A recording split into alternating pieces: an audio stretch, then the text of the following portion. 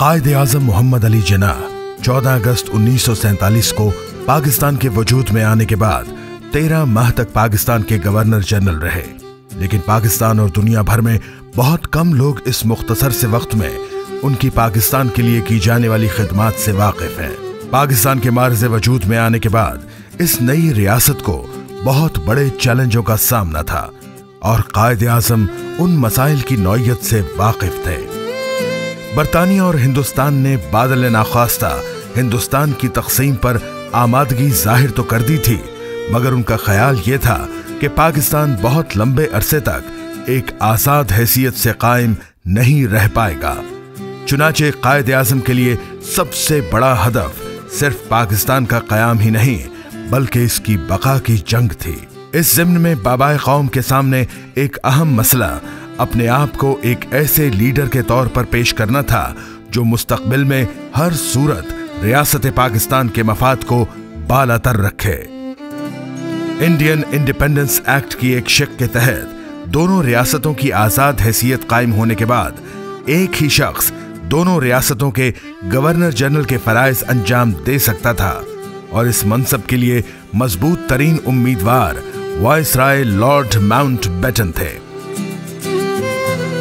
लेकिन उनके भरपूर इसरार के बावजूद, कायद आज़म ने बतौर गवर्नर जनरल जिम्मेदारियाँ संभाल ली। जिनाह वो वाहिद लीडर थे जिन्होंने लॉर्ड माउंट बेटन की नेहरू और गांधी के साथ ताल्लुकात की मजबूती को समझ लिया था और इस बात का अंदाज़ा भी लगा लिया था कि लॉर्ड माउंट बेटन इस सूरत हाल में पाकिस्तान के इंडियन गवर्नर जनरल साबित होंगे और उन पर भरोसा नहीं किया जा सकेगा।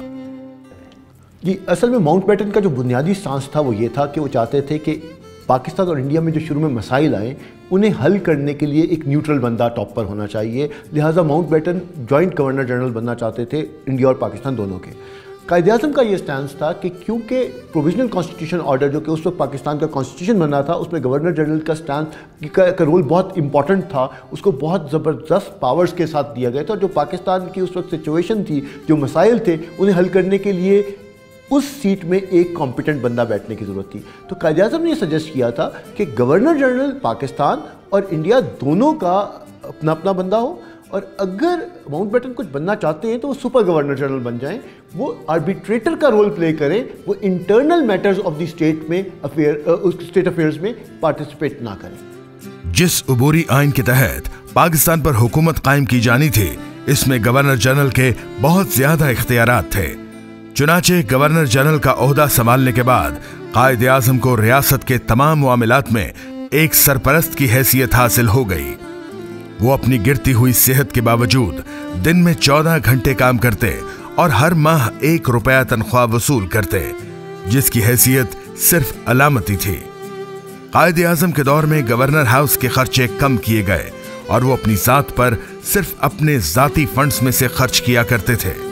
कायद काबीना के इजलास की सदारत करते और उनकी मौजूदगी में इंतहाई अहम किस्म के फैसले किए जाते।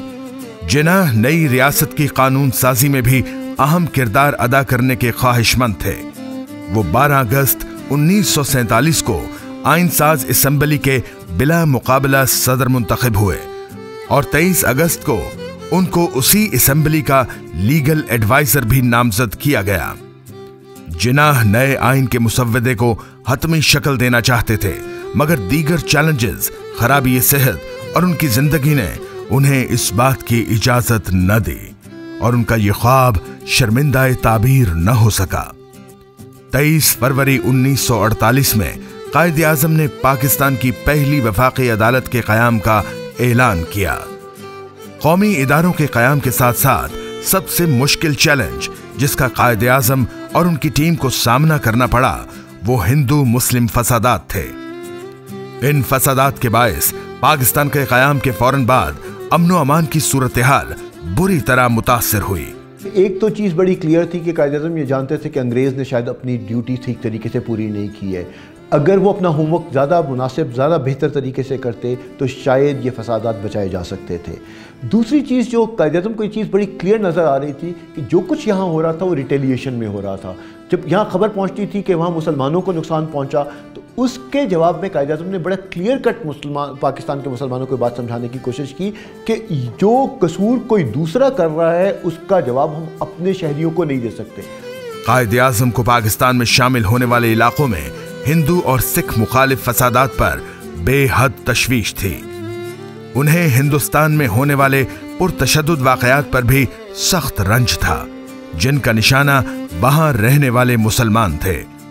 उन्होंने फौरी तौर पर मुसलमानों को पुरतशद कार्रवाइयों खून रेजी और मशरकी पंजाब और हिंदुस्तान में मुहाजरीन पर होने वाले जुल्म सितम के जवाब में इंतकामी कार्रवाइयों से अलग रहने की हिदायत की। जो माइनॉरिटीज़ पाकिस्तान के अंदर रहती हैं, ये पाकिस्तानी सिटीजन हैं और इनकी प्रोटेक्शन हमारा फ़र्ज़ है। और इसी के नतीजे में अगर हम देखें तो हमें नज़र आता है कि पहले दो महीनों के अंदर अंदर जो पाकिस्तान की टेरिटरीज़ थी, उसमें तकरीबन फसादात ख़त्म हो गए थे।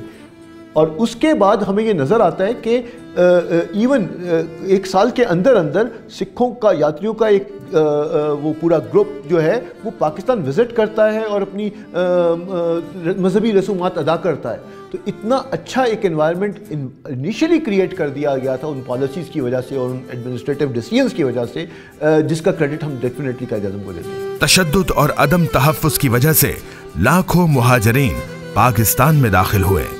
इसी अरसे में कायद आज़म ने लाहौर मुंतकिल होकर मुहाजरीन की बहाली के अमल की जाती तौर पर निगरानी की।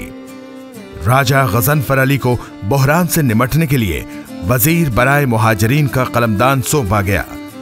कायद आज़म ने मुहाजरीन के लिए फंड इकट्ठा करने के लिए कायद आज़म रिलीफ फंड के नाम से मुल्क गिर मुहिम भी शुरू की। जिनाह पाकिस्तान में लोगों के मसाइल के हल में ब्यूरोक्रेसी के मुस्तकबिल के किरदार के बारे में पुरुद थे। मैं समझता हूँ कि कायद अजम की ज़िंदगी में जो सबसे इंपॉर्टेंट चीज़ थी, वो ये थी कि वो इदारों की मजबूती चाहते थे।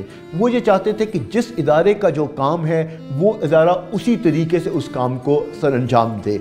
अगर आप शुरू में देखें, आप देखें लेजिस्लेटिव असम्बली उन्होंने जो तीन basic organ of the state हैं, वो बिल्कुल इनिशियल स्टेज पर उन्होंने कायम किए। लेजिस्लेचर जुडी एग्जीक्यूटिव और जुडिशरी तीनों को बहुत अच्छे और अपने उनके रोल के अंदर रहकर। और इसके अलावा उन्होंने जहाँ कभी सिविल सर्वेंट से या उन्होंने कभी फौजी उससे जहाँ पर भी तकरीर की, उन्होंने कहा कि आपके इदारे का एक ख़ास रोल है और आप उस रोल में अपनी ड्यूटीज़ को पूरा करने की कोशिश कीजिए। कायद आज़म को मालूम था कि उनके पास ज़्यादा वक्त नहीं है।